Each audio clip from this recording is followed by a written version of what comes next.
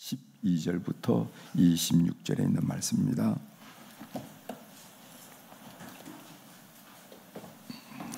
사도행전 1장 12절부터 26절에 있는 말씀.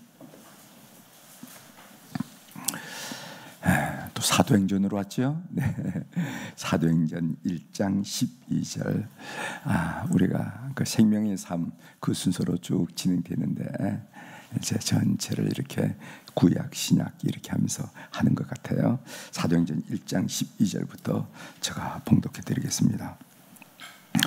제자들이 감나운이라 하는 산으로부터 예루살렘에 돌아오니 이 산은 예루살렘에서 가까워 안식일에 가기 알맞은 길이라.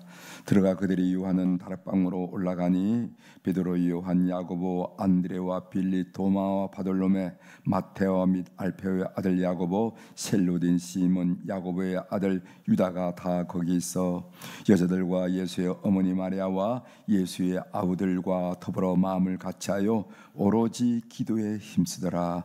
모인 무리의 수가 약 120명이나 되더라. 그때 베드로가 그 형제들 가운데 일어서서 이르되 형제들아 성령이 다윗의 입을 통하여 예수 잡는 자들의 길잡이가 된 유다를 가리켜 미리 말씀하신 성경이 응하였으니 마땅하도다. 이 사람은 본래 우리 수 가운데 참여하여 이 직무의 한 부분을 맡았던 자라. 이 사람이 불의의 삭스로 밭을 사고 후에 몸이 곤두박질하여 배가 터져 창사, 창자가 다 흘러나온지라.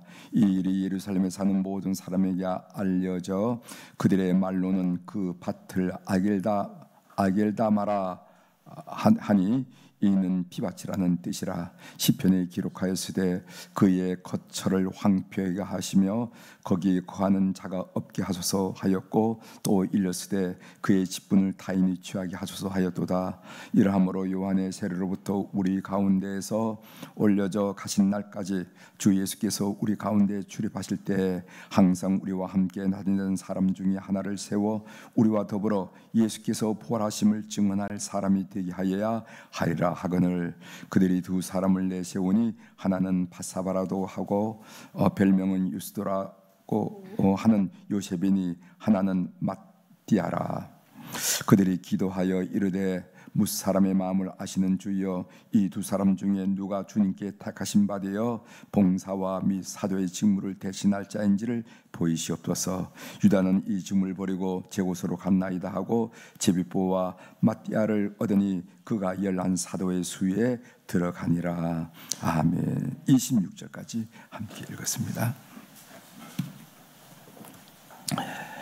오늘 우리가 읽은 사도행전 11장 어, 12절 이하에 있는 말씀을 중심으로 오늘 주제를 어떤 사람을 사도로 뽑을까? 아, 어떤 사람을 사도로 뽑을까? 아, 이런 주제로 같이 좀 음, 말씀을 나눌까 합니다. 여러분 혹시 코이의 법칙이라는 얘기 좀 들어보셨어요? 아, 코이. 코이가 뭔지 아시죠? 아 저는 아주 무식해가지고 코이의 법칙이라 해서 무슨 무슨 수학 법칙인가 이렇게 생각했는데 이 코이가 뭐냐면은 여러분 가정에서 그 어항에서 키우는 비단 잉어 아시죠? 비단잉어. 그거를 코이라고 그런다는 거예요. 코이. 아, 코이.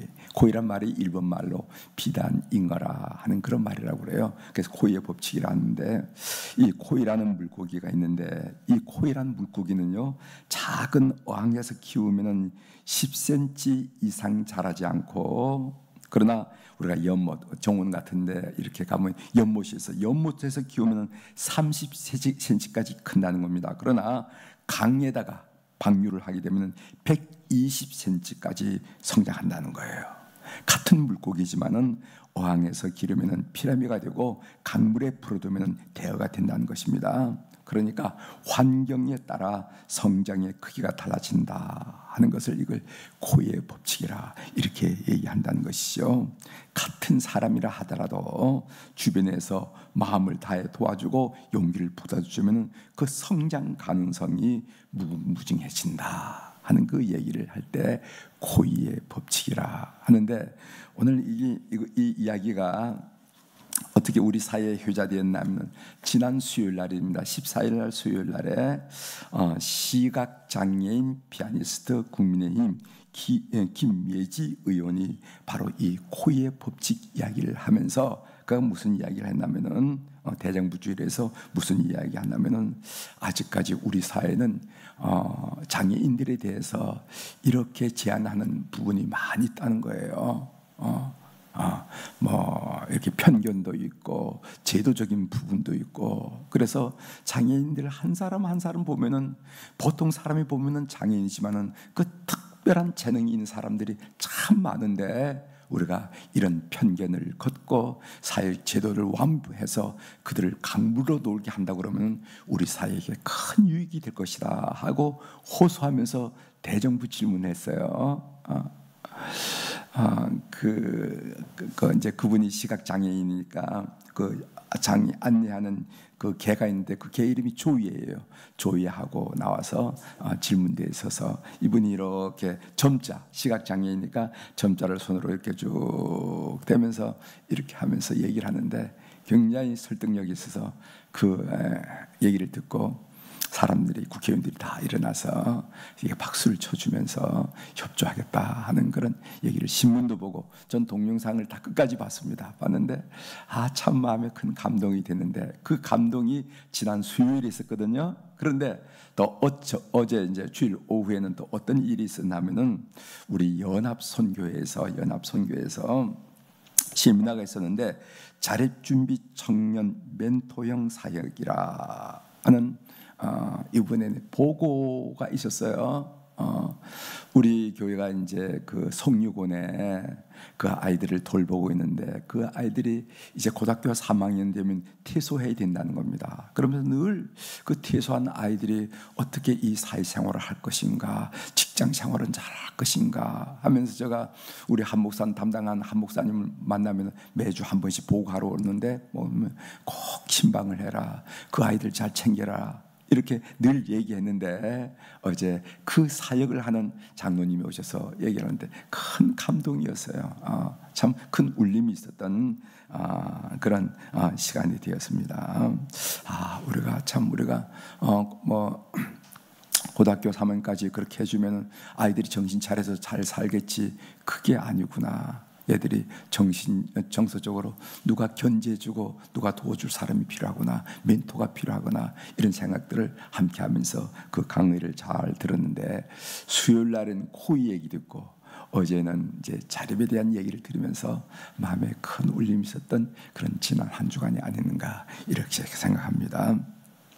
아, 오늘 본문 내용을 좀 들어가 보죠. 본문 내용은 아, 제자들이 감난산에서 예수님의 승천하신 모습을 본 다음에 예루살렘에 돌아온 사실부터 오늘 이야기가 전개된 것을 보게 됩니다.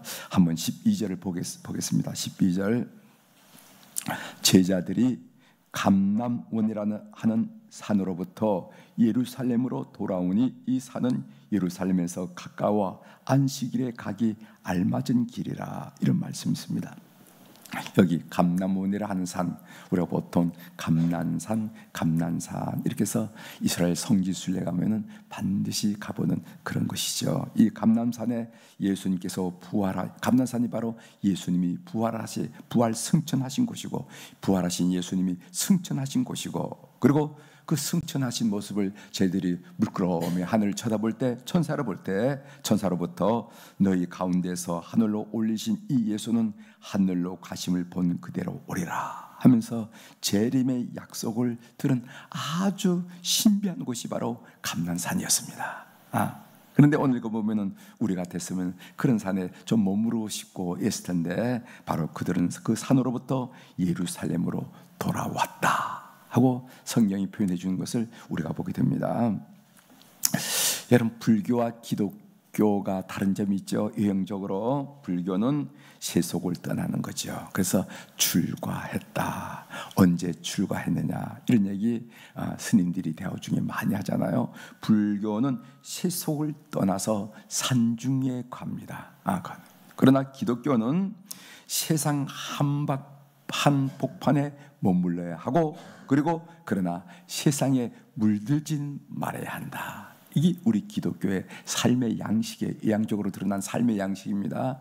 우리는 아, 떠나는 것이 아니라 세상 한가운데 같이 호흡하고 같이 울고 같이 웃으면서 살아가되 그러나 이 세상 물결에 세상 흐름에 물들어서는 안 되는 존재예요. 여러분 성경 마태복음 5장 13절에 보면은 너희는 세상의 소금이니 5장 15절에 보면은 너희는 세상의 빛이라 이런 말씀이 있습니다. 그러므로 이 세상이라는 것은 어떤 것인가? 그것은 성도들의 정체성과 존재 의미가 드러나야 할 것이 바로 이 세상이라는 것입니다. 그래서 우리가 무슨 기도원이라든가 수도원에 가서 영성 훈련을 하는 것은 때때로 필요한 일이긴 하지만은 성도의 삶의 자리는 세상 한 가운데라는 것. 이곳에서 하나 나라를 일궈내는 그런 존재들이 바로 성도라 하는 것을 오늘 본문을 통해서 다시 한번 확인할 수가 있습니다. 성도들이 예루살렘으로 돌아와서 무엇을 했습니까? 두 가지 일을 했죠. 하나는 뭐냐면은 오로지 기도에 힘쓰고 마지막 부분에 보면은 가룟유다 대신 한 사람 사도를 세우는 일을 했는 겁니다. 오늘 이야기를 함께 좀 하도록 하겠습니다.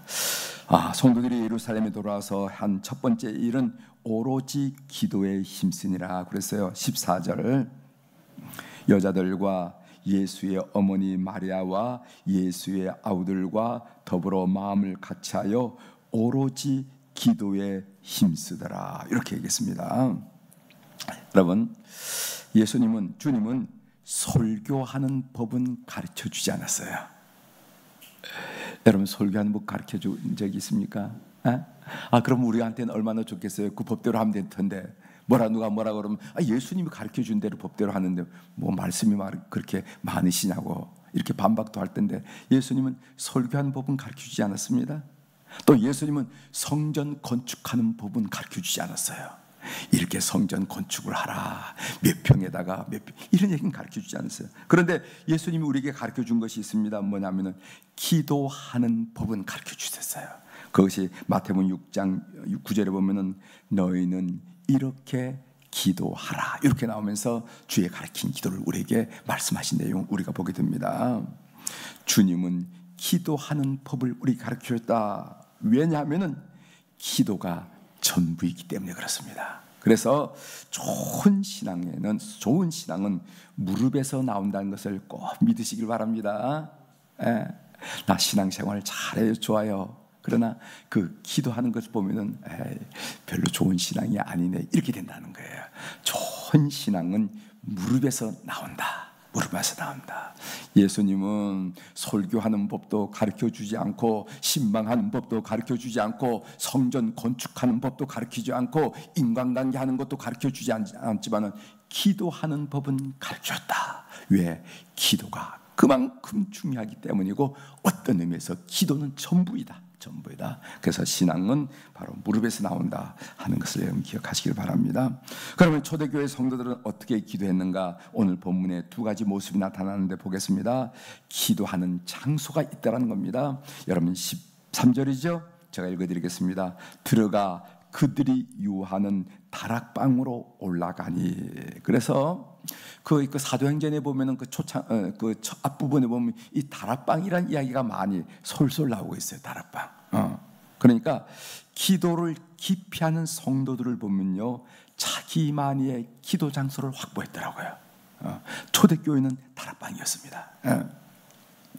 그래서 우리 성도들이 어, 기도에 어, 좀 깊이 들어가려고 한다면은 다른 사람들의 방해를 받지 않고 기도에 깊이 들어가려고 한다면은요 교회 기도실을 이용하든지 아니면 어, 가정에 있어서 어, 무슨 기도하는 방을 만들어 하든지 아니면 기도하는 코너를 만들든지 자기만의 기도의 자리가 굉장히 중요하다는 거 여러분 아시길 바랍니다. 아, 천지가 장소인데 아무 데서 기도하면 되지 그렇지 않더라는 거예요. 그렇잖아요. 그래서 기도하는 자리 초대교회 성도들에게는 기도하는 자리 다락방을 확보한 것처럼 여러분들이 기도 생활을 깊이 있게 하려고 하면은 여러분들의 기도의 자리를 확보해야 됩니다. 아, 제가 잘 아는 그 부천에 박혜수 권사님이라는 분이 계셔요. 아, 참 저에게 기대를 많이 하고 어, 학교 다닐 때 말입니다. 제가 좀 약해 보이는지 어, 그분이 어떻게 하는 그 권사님이 약을 달해서 보온병에다 그 당시 보온병이 많지도 않았어요. 70대죠. 근데 그 보온병에다 해가지고 아 이렇게 해서 전사님 그저 아, 정신 먹고 꼭감 드세요. 이렇게 했던 분이신데 이분 이야기를 좀 하는데 이분이요. 그 교회하고 좀 멀었습니다. 그렇기 때문에 새끼도 못 나가 못 나가고 그 보일러실인데 그 보일러는 장작 보일러예요. 여러분 장작으로 물을 데펴서 물을 돌리는 거 혹시 여러분 아신지 모르겠어요. 70년대, 60년대, 70년대 초반에 있었어요. 보통 60년대는 그 저 뭡니까 연탄 뗐잖아요. 그래서 연탄 때문에 한 사람이 연탄 깨수로 어려운 일을 당했잖아요. 그래서 이 집은 생각이 있은 장윤댁이었는데 생각이 있는 집에서 그 연탄 보일 저 장작 보일러를 만들어서 그래서 장작으로 물을 데펴서 불을 돌렸습니다. 그래서 하는데 그 장작 보일러실에 가만히 두 개를 가만히 가만히 떼기 하시죠? 가만히 두 개를 떼기 가만히 떼기 두 개를 깔아놓고 그렇게 새벽 기도한 때에는 지속적으로 정적으로 기도하더라고요. 어. 그러더니까 신유 은사를 깊이 체험하고 어? 그래서 신유 역사를 그 가정에서 그 장로님께서 하는 것을 제가 많이 보고 또 때로는 제가 예배도 드려주고 이런 경험이 있어요. 그래서 제가 느꼈습니다. 아하, 그 정말 초란 장소인 그 보일 보일러실에서 가만히 떼기 두 개 깔아놓고 그렇게 정기적으로 지속적으로 기도하다니까 하나님께서 이런 은혜를 입었구나 하는 것을 제가 느꼈습니다. 여러분 이 장소에 대한 말씀 여러분 꼭 기억해 주시길 바랍니다. 자, 두 번째로는 더불어 마음을 같이하여 기도했단 말씀이 나옵니다. 14절이죠. 여자들과 예수의 어머니 마리아와 예수의 아우들과 더불어 마음을 같이하여 이렇게 얘기했습니다. 여러분 마태복음 18장 19절에 보면 이런 말씀이 있어요. 진실로 다시 너희에게 이르노니 너희 중에 두 사람이 땅에서 합심하여 무엇이든지 구하면은 하늘에 계신 내 아버지께서 그들을 위하여 이루게 하시리라 이렇게 했어요. 두 땅에서 두 사람이 합해서 기도하면 무엇이든지 구하며 이렇게 해서 이 더불어 기도한다는 것이 얼마나 중요하다는 것을 우리에게 가르쳐 주신 분입니다. 여러분 마태복음 18장 20절에 보면 두세 사람이 내 이름으로 모인 곳에는 나도 그들 중에 있느니라 이렇게 얘기했어요. 여러분 모닥불도 보시면 알잖아요. 우리가 캠파이어 할 때 보면은요. 혼자 나무 혼자면은 금방 그 불꽃이 사그러지고 식어지고 맙니다. 그러나 둘 셋이면은 생나무, 생나무도 쉽게 불이 붙어서 활활 타오르는 것을 우리가 보게 됩니다. 어?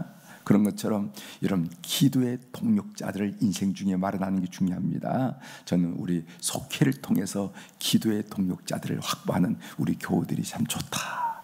권사님, 속장님 이렇게 속회, 속회가 기도의 동력자를 만드는 중요하다.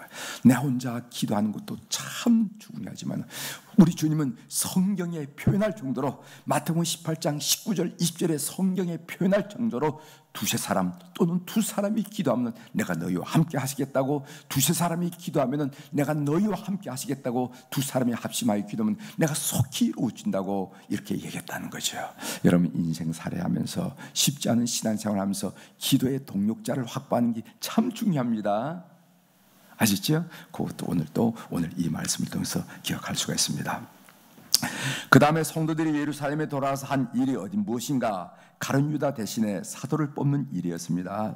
여러분 잘 알다시피 열둘이라 하는 것은 완전수를 의미하죠. 그래서 이스라엘도 열두 지파로 이루어졌다는 걸 압니다. 그들은 어, 그들을 계승하는 제자 공동체 역시 새 이스라엘에서 열두 제자로 구성이 되었는데 따라서 이 가룟 유다 대신 한 사람을 뽑아야 할 그런 어떤 그래야만 온전하게 된다 하는 그런 생각을 초대교회 지도자들이 한 것 같아요. 그래 우리가 온전하지 않은가 이렇게 생각한 것 같아요. 그래서 어, 가룟 유다 대신에 사람을 뽑았는데 뽑았는데 그 사람을 왜 뽑아야 되는가 하는 그 이유가 22절에 나와 있습니다. 제가 한번 읽어 드리겠습니다. 22절 항상 우리와 함께 다니던 사람 중에 하나를 세워 우리의 우리와 더불어 예수께서 부활하심을 증언할 사람이 되게 하여야 하리라 하거늘 이렇게 말씀하셨어요. 여기 보면은 예수의 부활을 증언하기 위해서 사람을 채워야 된다고 이렇게 이야기하고 있습니다. 그러니까 그들이 제자를 뽑는 이유는 뭐냐면 그래도 근사하지 않겠습니까? 그게 아니고 예수 부활을 증언하기 위해서 우리가 사람을 뽑아야 됩니다. 이렇게 그 직접적인 이유를 설명하는 것을 보게 된다는 거죠. 여러분 예수 부활 제가 이제 좀 잠깐 생각해 봤습니다. 예수 부활은 초대교회 성도들에게는 현실이었어요. 현실. 그래서 그들은 죽음을 두려워하지 않았고 그렇기 때문에 죽음을 두려워하지 않은 공동체니까 얼마나 강하겠어요. 그래서 초대교회는 비록 숫자는 적었지만 강하고 힘 있는 공동체였다는 겁니다. 그럼 오늘 우리에게 있어서 부활은 뭔가? 예수 부활은 관념이 되고 말았어. 관념. 관념이 되고 신학이 되고 말았어. 어? 그래서 예수님의 부활 그것은 신학적으로는 배우고 관념적으로는 이해하지만은 그게 우리의 삶의 현실이 되지 못했다는 말이지. 이것이 바로 초대교회 성도들과 오늘 우리와의 차이점이 아니겠는가. 이 점에서 우리가 함께 고민해야 되지 않겠는가 하는 생각을 하게 됩니다. 그리고 이 뽑혀야 할 사도는 어떤 사람이어야 되는가? 오늘 22절에 보면은 항상 우리와 함께 다니던 사람 중에 이렇게 얘기했습니다. 그러니까 예수님과 늘 동행하는 자 이걸 얘기했어요. 어떤 사람을 뽑아야 되는가? 예수님과 늘 동행하는 사람을 뽑아야 된다 이 말이죠. 이거는 우리들에게 교회 지도자를 세울 때 얼마나 중요한 아이템을 주는지 몰라요. 팁을 주는지 몰라요. 어. 누구를 교회 지도자로 세워야 되느냐? 예수님과 함께 동행한 사람이라 된다는 거예요. 그래서 신앙생활이라는 것은 주일에 교회 나오는 것을 말하는 것이 아니라 제가 늘 가르치죠. 이것이 바로 그 헌신책의 2부의 주제입니다. 주제예요. 신앙생활이라는 게 뭐냐? 그것은 주일날 교회 나오는 것을 보고 성경 끼고 교회 나오는 것을 보고 신앙생활이라 그런다 그런 게 아니라는 거예요. 그건 형식일 뿐이지 신앙생활이라는 게 무엇인가? 그것은 매 순간 순간 하나님과 동행하는 것 이걸 보고 신앙생활을 한다는 겁니다. 매 순간 무엇이든지 주님께 묻고 그리고 언제나 주님께 순종하는 삶 이것을 보고 신앙생활을 하는구나 신앙생활을 잘하는구나 신앙생활을 잘 하세요 이렇게 얘기하는 것이 바로 그것이라 하는 것을 여러분 아시길 바랍니다. 이렇게 오늘 우리가 읽은 본문을 정리해 놓고 아 제가 이 본문을 좀 묵상하면서 어떤 사람을 사도로 뽑는가 이 예수님과 동행한 자를 사도로 지도자를 뽑아야 된다 하는 이야기가 마음에 많이 남더라고요. 어? 예수님과 동행하는 자. 아. 어제 오후에 어제 이제 우리가 이제 연합 선교회 세미나가 있은 다음에 또 오후 4시에 우리 이사분기 소초지방 장로님들의 순회 예배가 우리 교회에 있었어요.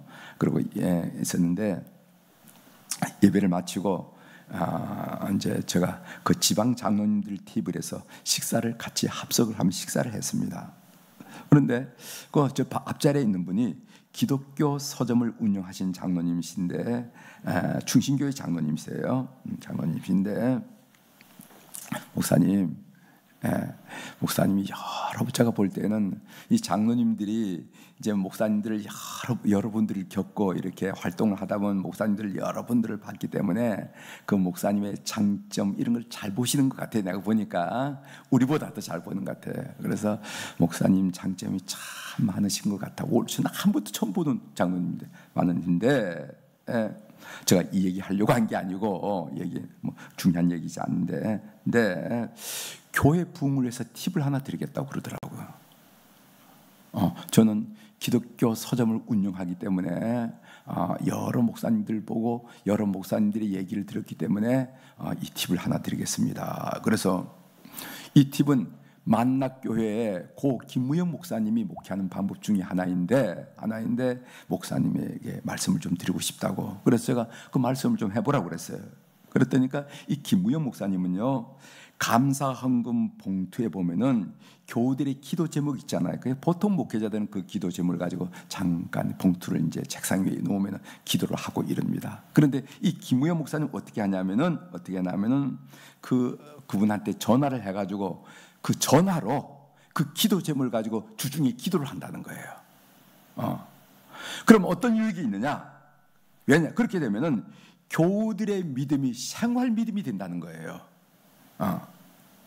그러니까 예수님 우리 말하면 하나님과 동행하는 믿음으로 훈련이 되더란 말이죠. 그러니까 성도들의 신앙이 성장하니까 자연적으로 교회가 붕대는 것을 제가 봤습니다. 아. 목사님도 한번 그렇게 해보세요. 이렇게 도전하더라. 그래서 아, 전그 어, 아, 그 말이 딱이 귀에 꽂히더라고. 아, 그렇구나. 그렇게 했구나.